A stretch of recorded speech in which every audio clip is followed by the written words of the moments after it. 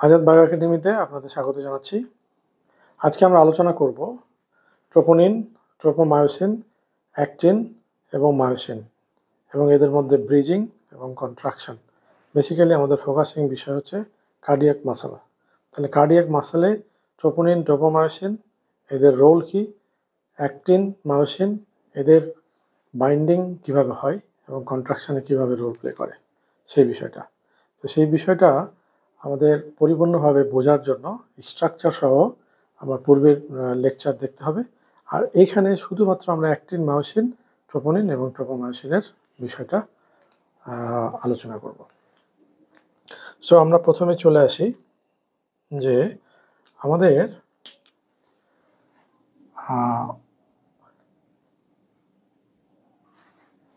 মানে অ্যাক্টিনগুলো হ্যাঁ এরকমভাবে অনেকগুলো মনোমার প্রোটিন দিয়ে হ্যাঁ আমাদের হেলিক্যাল ওয়েতে থাকে।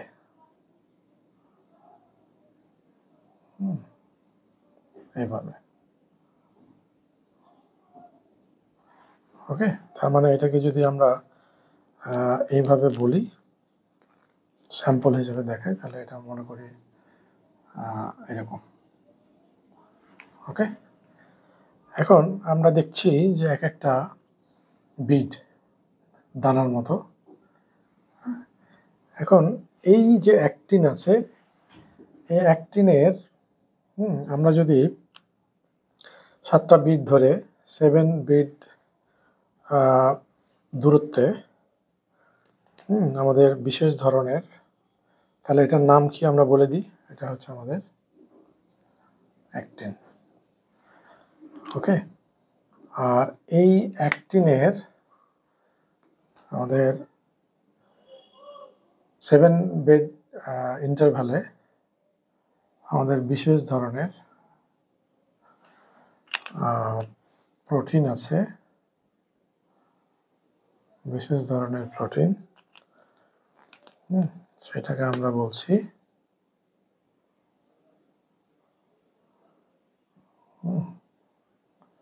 সেটাকে আমরা বলছি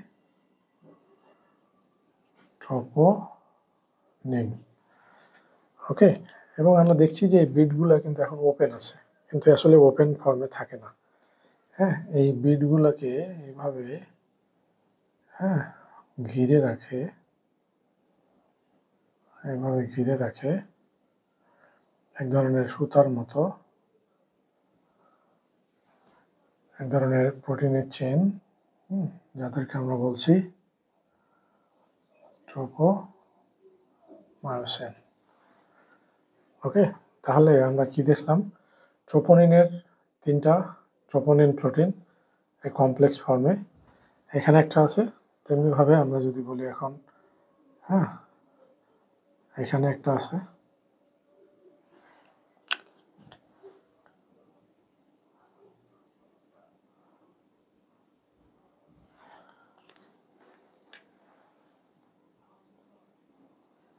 এভাবে নির্দিষ্ট ইন্টারভ্যালে অনেকগুলো ট্রোপোনিন কমপ্লেক্স আছে। এখানে সেভেন বিট ইন্টারভ্যাল অথবা আমাদের হ্যাঁ ফাইভ পয়েন্ট সিক্স ন্যানোমিটার ইন্টারভ্যালে এই কমপ্লেক্সগুলো থাকে। হুম, এটা নর্মাল অবস্থায় আছে। আর নর্মাল অবস্থায় আমাদের কি আছে? হুম, এটা হচ্ছে আমাদের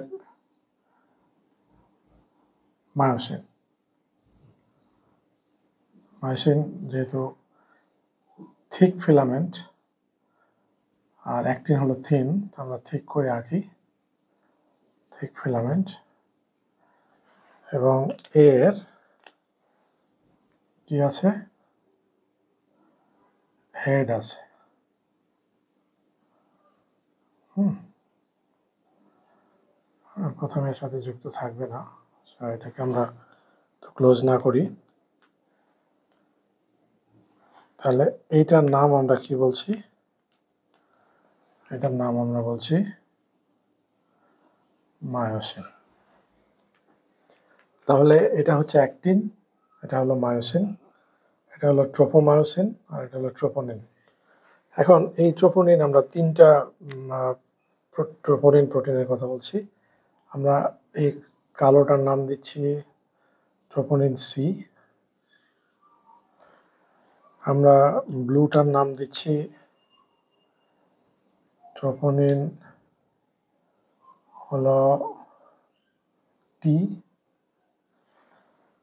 আর আমরা রেডটার নাম দিচ্ছি troponin I okay so troponin C এর কাজ হলো calcium binding troponin troponin I যেটা মানে টি যেটা, এই ট্রোপোনিন টি এর কাজ হলো এরা মেনটেন করে ওভারঅল স্ট্রাকচারটাকে এবং ট্রোপোমায়োসিনের পজিশনটাকে আর ট্রোপোনিন আয়ের কাজ হলো যে যতক্ষণ পর্যন্ত ক্যালসিয়াম না আসবে, ততক্ষণ পর্যন্ত এই অবস্থায় ধরে রাখবে। অর্থাৎ ক্যালসিয়ামকে এখানে বাইন্ড করতে in the presence of calcium এদের conformational the absence of calcium এদের অবস্থানের কোনো পরিবর্তন যেন না হয় ইনহিবিট করবে।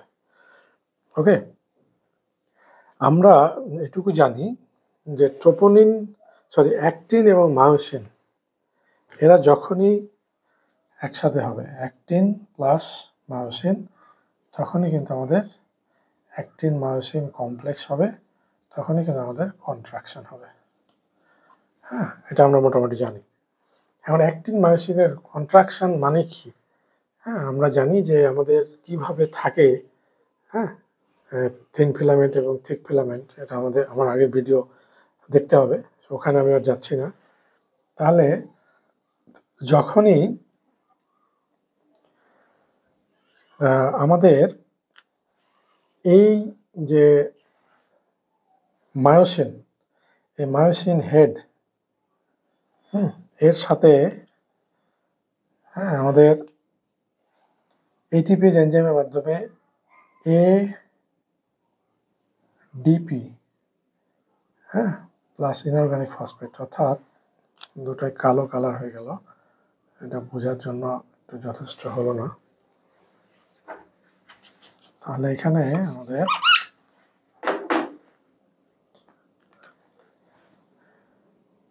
এ ডিপি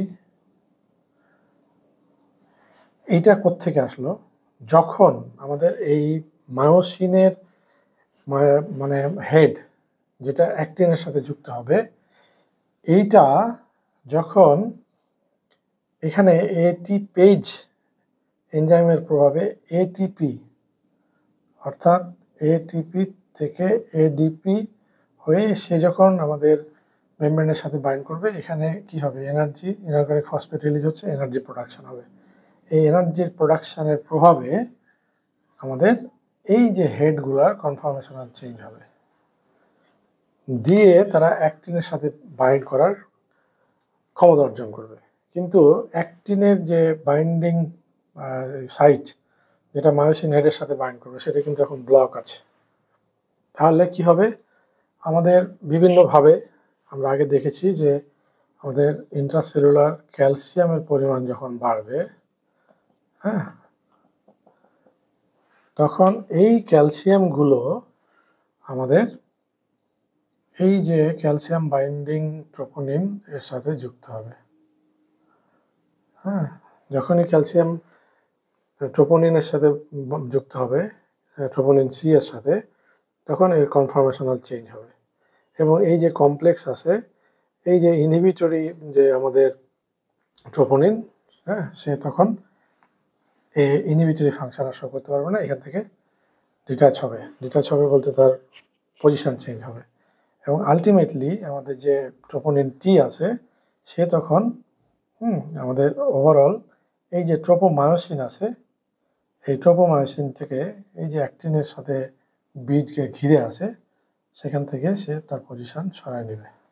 অর্থাৎ যদি বলি যে এটা একটা বিড হুম, আর এখান দিয়ে আমাদের ট্রোপোমায়োসিন গেছে, কিন্তু এখানে হচ্ছে তার বাইন্ডিং সাইট তখন আমাদের যখনই এই ক্যালসিয়াম ট্রোপোনিনের সাথে যুক্ত হচ্ছে এবং এই ট্রোপোনিন কমপ্লেক্সের স্ট্রাকচারাল পরিবর্তন হচ্ছে পজিশন চেঞ্জ হচ্ছে, আমাদের ট্রোপো ট্রোপোনিন টি যখন এটা মেনটেন করছে, তখন এর পজিশন এখান থেকে এদিকে সরে গেল।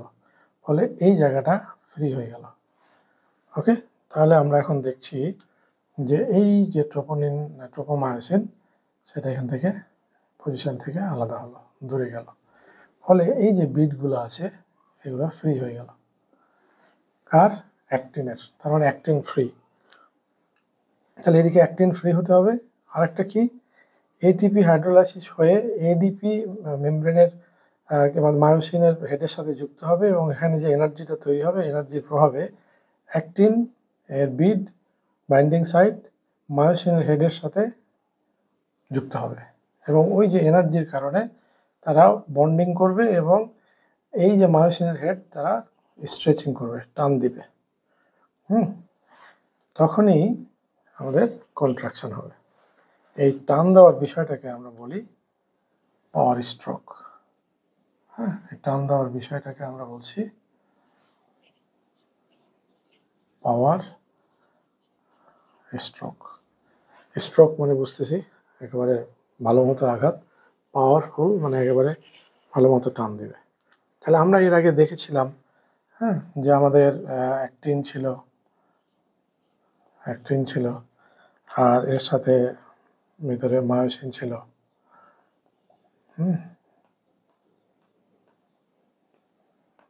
তো তারা যখন এই এম সাইটের সাথে এদের এদের মানে এই যে মায়োসিনের হেড যখন স্ট্রেচিং হচ্ছে তখন তারা এই দিকের দিকে আসার, এম এম জোনের দিকে আসার চেষ্টা করবে। তখনই কন্ট্রাকশন হবে। ওকে? সো, অ্যাক্টিন মাউসিন এই যে এখানে কমপ্লেক্স হচ্ছে, কখন? যখন এটিপি হাইড্রোলাইসিস হয়ে এডিপি ফর্ম করছে এবং এটা যখন মায়োসিনের হেডের সাথে কানেক্ট হচ্ছে এবং এই এনার্জিটা আমাদের পাওয়ার স্ট্রোকে কাজ করছে স্ট্রেচিংয়ে কাজ করছে। তখন অ্যাক্টিং মায়োসিন কমপ্লেক্স হচ্ছে। এখন কন্ট্রাকশন হয়ে গেল, তাহলে এখন রিল্যাক্স হতে হবে। কখন হবে?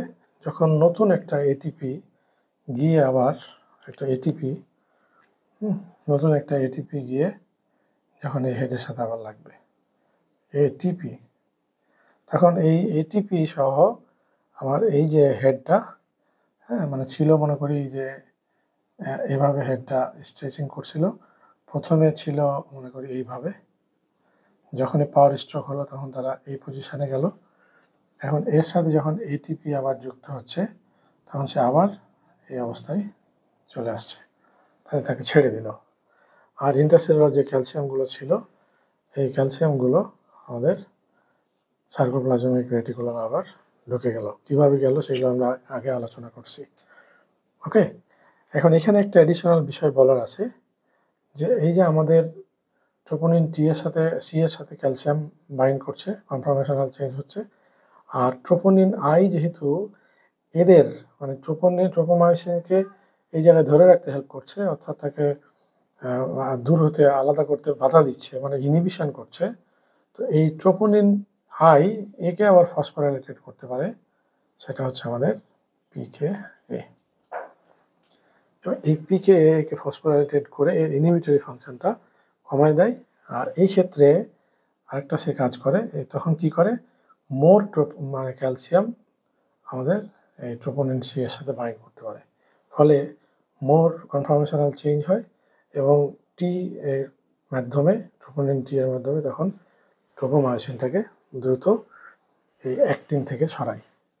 তার মানে অ্যাক্টিনকে ফ্রি হতে হবে এবং মায়োসিনের যে হেড তাকে মানে এনার্জি কাজে লাগিয়ে অ্যাক্টিনের হেডের সাথে, মায়োসিনের বিডের সাথে কমপ্লেক্স ফর্ম করে কন্ট্রাকশন কথা ঘটাতে হবে। ওকে তো এই হচ্ছে ওভারঅল বিষয়। তার মানে ট্রোপোনিন তিন ধরনের ট্রোপোনিন সি ট্রোপোনিন আই এবং ট্রোপোনিন টি এরা কমপ্লেক্স ফর্মে আমাদের অ্যাক্টিনের সাথে সাতটা মানে মনোমারের দূরত্ব, দূরত্বে এরা কমপ্লেক্স ফর্মে থাকে। আর এদের কাজ হলো এরা সঠিকভাবে আমাদের ট্রোপোমায়োসিন দিয়ে অ্যাক্টিন যে চেন আছে, এটাকে ঢেকে রাখে তার বাইন্ডিং সাইডটাকে মানে ই করে রাখে কাভার করে রাখে ব্লক করে রাখে। তো যখনই আমাদের এই ট্রোপোমায়োসিন তিনটা, ট্রোপোনিন, এই তিনটা ট্রোপোনিন সি সাথে ক্যালসিয়াম বাইন্ড করবে, তখনই ট্রোপোনিন আই আর কাজ করতে পারবে না এবং ট্রোপোনিন টি তখন আমাদের এই কনফার্মেশনাল চেঞ্জের মাধ্যমে ট্রোপোমাইসিনটাকে আলাদা করবে। তখনই কেবলমাত্র এরা মায়োসিন হেডের সাথে বন্ড ফর্ম করতে পারবে with the help of hydrolysis of ATPase হ্যাঁ activity of ATP and then energy যে প্রোডাকশন হবে এটার মাধ্যমে তারা তাদের স্ট্রাকচারাল চেঞ্জ করে স্ট্রেচিং করবে এটাকে আমরা বলছি পাওয়ার স্ট্রোক আর এর মাধ্যমে তারা যখন অ্যাক্টিন এবং মায়োসিন একসাথে হয়ে কমপ্লেক্স করবে তখনই কন্ট্রাকশন হবে। Okay so this is actin this is myosin this is tropomyosin and this is troponin C, troponin T and troponin I.